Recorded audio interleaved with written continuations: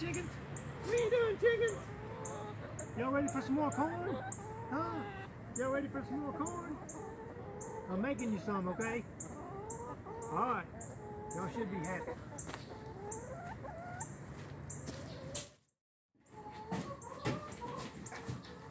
Hey, chickens. Hey, babies. What are y'all doing? Ain't good. No, middle of the day. Remember I told you about the importance of checking for eggs all day long? Boom. And I had seven this morning. There's another one. That's why you check. So, today we're getting into the part two of that deer corn for chickens. And yesterday I pretty much wanted to test it out to see if that stuff would work. And man, that stuff worked far beyond my expectations. So today we're making bigger batches. And we'll get into that. But boom, middle of the day, another egg. How cool is that? Okay, so what I did was I took and I added, I normally give them like a cup of that deer corn a day. So it's going to fluff up. But this is the way I figured it anyway because it's going to be more food. So I took seven cups of the deer corn, added in here, fill it with the water, and I'm going to cook it. And then I'm going to store it in my in my bucket and I'm going to make sure I keep the corn, well the water level above the corn and just dip out some every day and feed it to, to the chickens. That's my storage plan anyway for this and that way I only have to do this once a week and I can feed them out of the out of the bucket.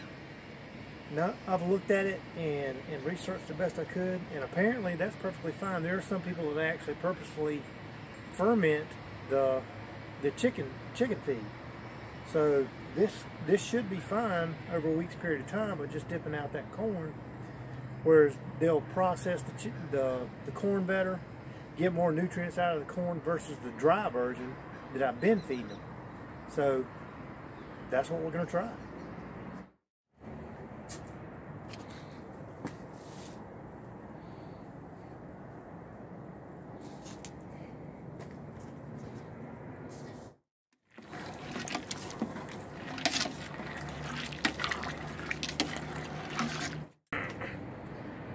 If any of you got any other ideas on how to actually store the corn once I get it cooked for these chickens for the week, other than the way I'm gonna do it with, of course, you know, my the bucket, um, put in the comments below and let me know.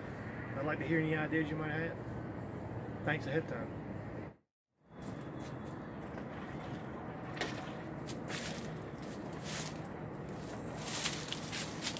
smells kind of like a rich, buttery popcorn out here.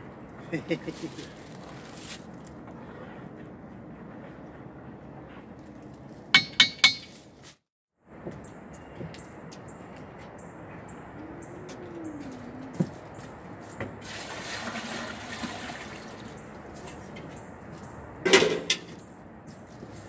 thing's definitely absorbing a lot of water.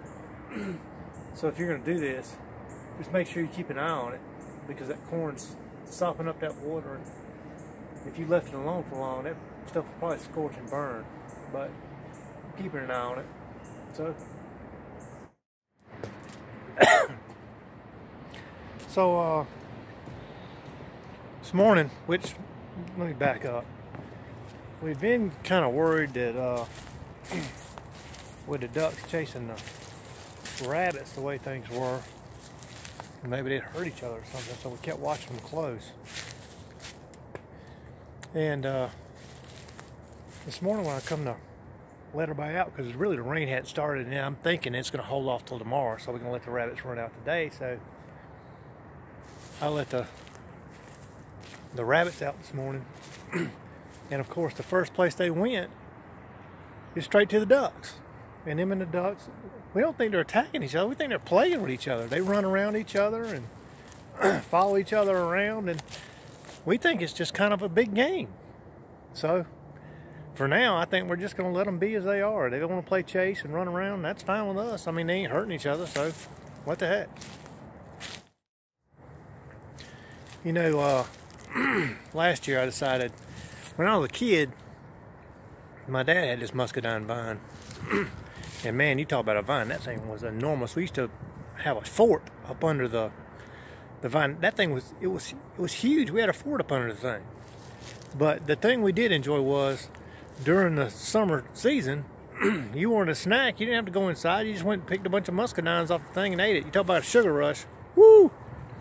But I love those muscadines. So last year, I decided I was going to go ahead and grow me a muscadine vine here, which truthfully I wish I'd have got a cutting off of my dad's old muscadine vine before that thing got cut down because that thing was great. But went ahead and got me this one and I got a good bit of growth out of that thing last year, but from what I understand, it's probably going to take about three to five years to actually start getting any uh, any fruit off of it. so I guess that's going to be a long-term wait and see. I don't know. We'll find out, but I'm hoping it'll come out. Should be fairly decent muscadines. Although my dad had those uh, those kind of uh, yellowy kind of muscadines, not the purpley kind, but from what I understand, this muscadine mine's got is, uh, or from what I saw, it's got the the purple grapes. So I'm I'm not sure what the real difference in the purple and those uh, those yellow ones like my dad had were, but those yellow ones they were really good. So I'm kind of hoping those purple ones are going to be at least similar to them. But muscadine vines grow great here in the south, and uh, it should be good. And especially I think once it starts actually producing some uh, some fruit, grandkids will love it. So, uh, well, and my kids too. they would too. Let's face it, they're still big kids anyway, but um, especially Chelsea, she'll probably come out here and slobber down at least a bucket or two when she comes out to pick the muscadines off of it. Who's, who's, who's kidding who? but anywho, see, look, I'm telling you, it's a game to them. It's absolutely a game. It's crazy. Hey, chickens, what are y'all doing? This? I'm making y'all some corn this morning. Just hold your horses. I'm making y'all some corn. I will get you some, I promise. How y'all doing this morning? Yeah, I see y'all. You did good on your egg laying. You, you keep it up. You're doing you're doing a fine job. Doing a fine job, ladies. I appreciate it. So think we need to get back to work on cooking their corn for them. They seem to like it.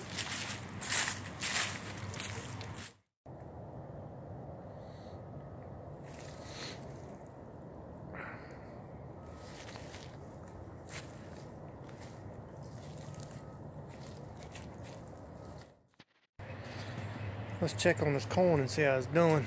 See if it's plumping up good yet.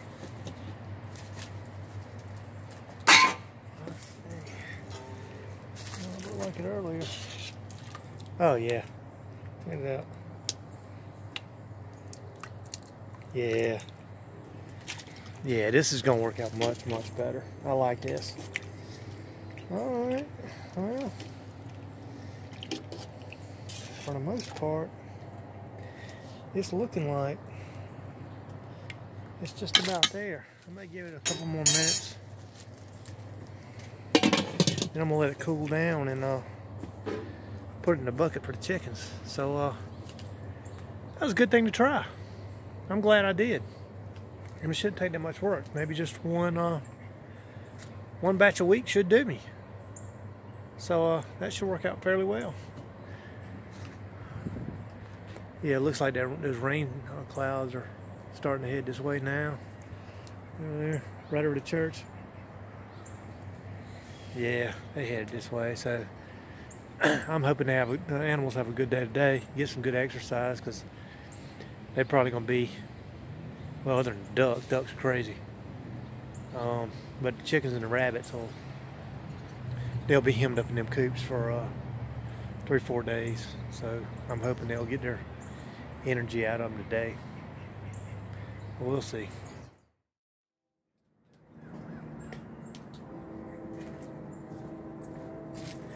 All right, it's time to turn this off and just let it sit and soak. And Then I pour it in my bucket, and they chicken's ready to go to feed. So oh. there we go.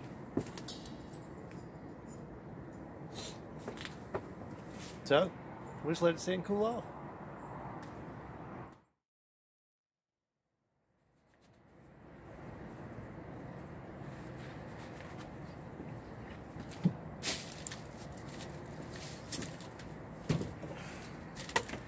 Okay, you might have an inkling to take the corn you cook and pour the liquid off and put fresh water in it, but don't.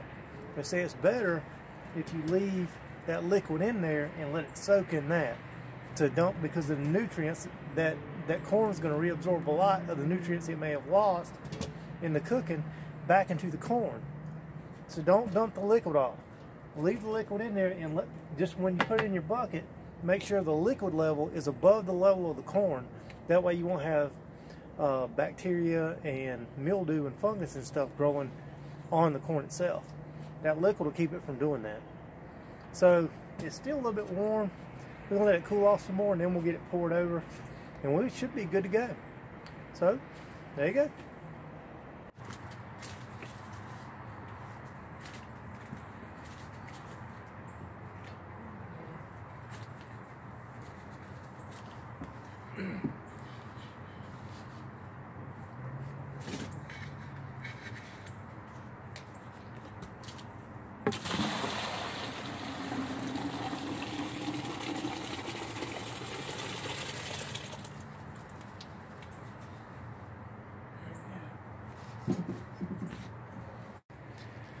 Okay, so I got my corn poured.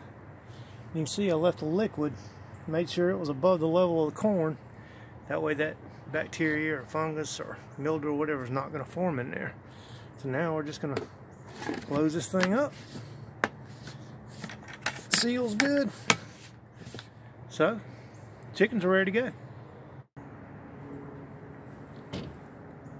Okay, that's it for my deer corn experiment, which turned out much better than what I anticipated. That uh, that really turned out well. If you got any ideas about the deer corn or other stuff we talked about in the video, please leave it in the comments below. Please like, subscribe, and share if you can. I uh, hope you enjoyed today's video, and uh, I guess I'll see you on the next one. Thanks for watching.